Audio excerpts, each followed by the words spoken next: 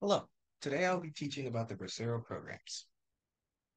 But first, we have to go back to the 1940s. In the midst of World War II, massive changes were happening in the US. Healthy working class men were sent to the front lines in Europe, resulting in a severe labor shortage in multiple industries, especially agriculture. Initially, to deal with the shortage, the US had women fill those roles, but unfortunately, it wasn't enough. So in 1942, the United States signed an agreement with Mexico called the Mexican Farm Labor Agreement.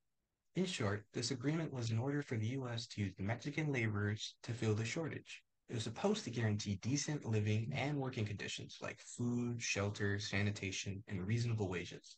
On paper, this seems like a good agreement with the U.S., getting the necessary laborers to support the war effort while Mexico can secure some employment for its citizens, albeit temporary. Unfortunately, this did not go as planned. For those who were chosen, came to be known as braceros, or laborers. For these braceros, they would gather essentials, selling sometimes selling heirlooms, livestock, and other valuables just to make the trip to the border, where they would wait in crowds to be hired by farmers. Some would walk and walk to make their journey, some would take trains. However, this once they made it to the border, that's where their mistreatment began. After standing in line for hours on end in the sun, they would enter into these buildings and then undress. They would be examined by doctors in order to make sure that they were in healthy condition. Mind you, there's no section off areas for privacy, curtains, nothing. There's men of all ages, stripped down, standing shoulder to shoulder with almost no understanding of what was going on, beyond just simply getting a job in the US. After going through that examination, they went to sign a contract. However, a majority of the men that were trying to get visas, they couldn't read or write. They didn't know what they were signing. They just wanted a job. They were just people just trying to make money to support their families, and yet they're being treated inhumanely and taken advantage of. And just to put cherry on top, just before leaving the facility, they were hosed down with DDT. What's DDT? DDT is an extremely harmful pesticide that was commonly used in, agri- in the agriculture business and was found to be very harmful to humans.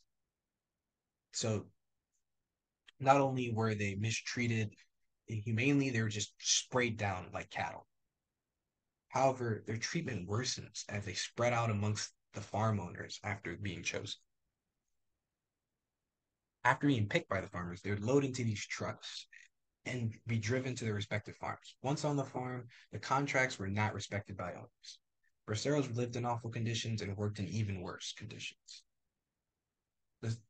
Work experience was entirely up to the farm owners, which was not a good sign. For a small few, they worked under seemingly humane conditions, but for many, they had to work 12 plus hours a day in the hot sun for mere pennies.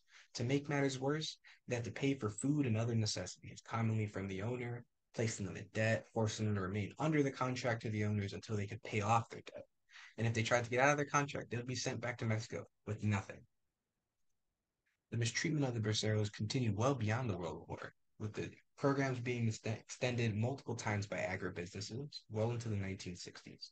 American citizens returning from the war had to compete with Braceros for jobs in the agriculture resulting in general mistreatment by American citizens. Truman Moore, a historian who wrote about the programs after their termination in 1964, mind you, this was the programs were start were initiated in 1942.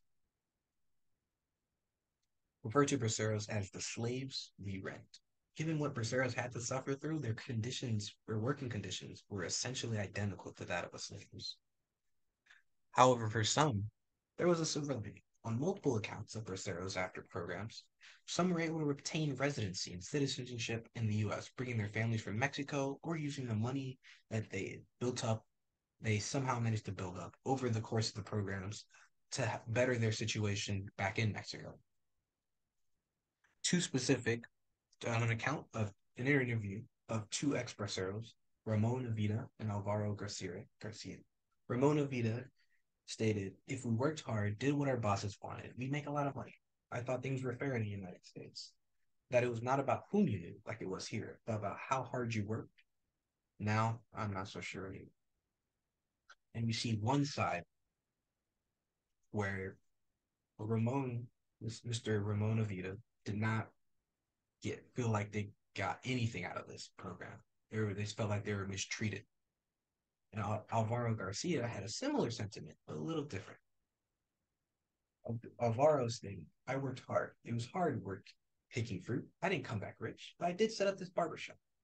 So there was a, in Alvaro's case, they there was a little silver lining. Though he didn't get he didn't come back rich and in a better in an even significantly better situation than he was before, but he made enough money to set up a barbershop which he still works to today. So there are clearly multiple issues with the Bracero programs. Only a handful were mentioned, I, but I suggest going to the Bracero History Archive. It has a bunch of accounts from Braceros, relatives of Braceros, even relatives of the farm owners. It shows how important it is for historians to look at every point of view. Although the Bracero program was largely negative for many, it ended up being good for some. A lot of, uh, and it also ended up pushing forward with the mistreatment, the general mistreatment of Braceros, pushed forward for a lot of movements later on in the 20th and the 21st century.